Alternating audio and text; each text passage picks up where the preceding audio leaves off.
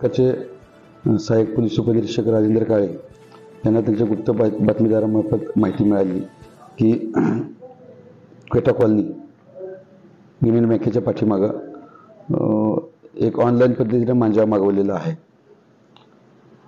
सदरच्या बातमी त्यांनी वरिष्ठांना अवगत केल्यानंतर सदर ठिकाणी सापळा रचून जवळपास चाळीस पेटी प्रतिबंधक बंधित मांजा सुमारे अठरा लाख किमतीचा मोहम्मद हसानुल अशरफ शेख म्हणून आहे. त्याच्याकडून हस्तगत करण्यात आलेलं आहे आणि त्याच्याविरुद्ध लकडे पोलीस ठाण्याला पर्यावरण ॲक्ट एकोणीसशे शहाऐंशी प्रमाणे कायदेशीर कारवाई करण्यात आलेली आहे.